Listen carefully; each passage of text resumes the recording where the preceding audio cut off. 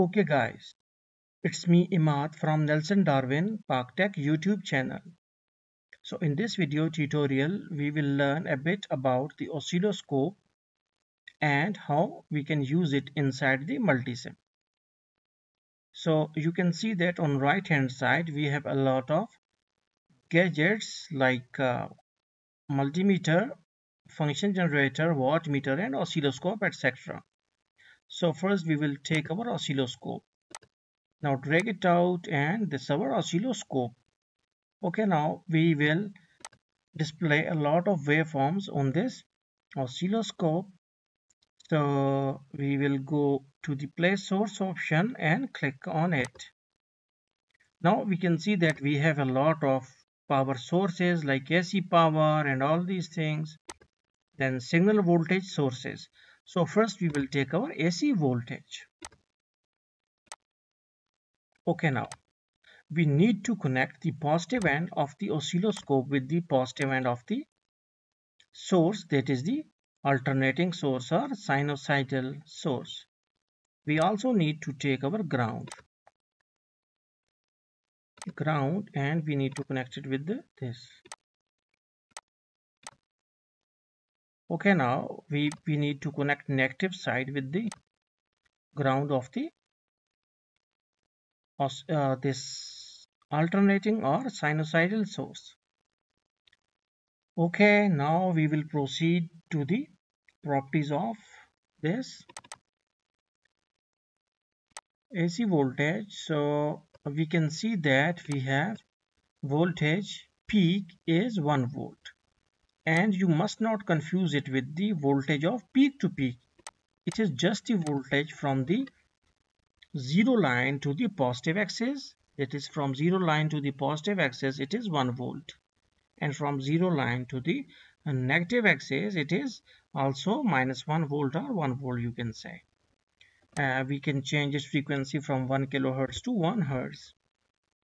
Okay can we change its frequency to 2 or yes we can okay so if you want like 2 3 or 50 or even multiple of this f you can write it here. Okay then press ok. Okay now we will uh, run it. Okay now. It is 1 hertz and 1 volt peak signal. Okay now you can see that we have a lot of square like boxes on this oscilloscope. So what, what is meant by these boxes they are this is actually called as the grid. Uh, it is having its uh, x-axis and y-axis as an element. So here we can see that we have 10 millisecond per division but we will increase it to one second per division. Okay one second per division. It means that one box is representing one second. One second. But how that it will it is like uh, it is representing one second but on x-axis like going if if you are going from left to right one box represents one second okay?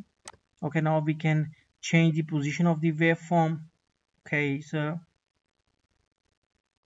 okay now one one more thing one more thing. And what about the amplitude setting? We have 5 volt per division. And 5 volt per division means that from going from the bottom to the top one box representing 5 volt. But we need to decrease them out. Okay now this like this. Okay that is 1 volt per division.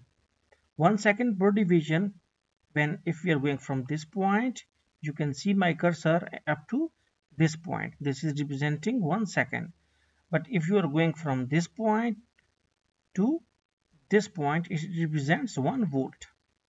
Okay now our signal there are two parts of our signal. One is this the signal starts from this and ends at this point. This is like uh, from 0 to we can say that it is 180 okay so in one second our signal is from like uh, this point to this point. So this is our signal in one second. And what about its amplitude? 1 volt as I said you earlier that 1 volt means from from zero line. This mid white line is our zero line. So above on above it we can see that we have part of the signal which is which is 1 volt because it is 1 volt per division and on the negative side it is 1 volt. So we can say that it is 2 volt peak to peak signal. 1 volt peak signal but 2 volt peak to peak signal because this is the positive peak and this is the negative peak of the signal. So we can uh, see it like that okay if you like to decrease it 500 millivolt then you can see that our our now one second represents two boxes. Uh, sorry one volt represents two boxes. But if you consider 1 volt per division then one box just representing 1 volt and one box on x-axis representing one second. Okay can we uh, like uh, can we move some other can we draw some other waveforms on it? Yes we can. Okay like clock signal or any other thing like that we can delete it out. Okay wait. We can delete it out. We can go and we can take clock signal. The clock voltage because clock voltage is the square wave. Square wave form okay we can change it to 1 hertz and 50 percent and voltage 1 volt. Okay now we will run it.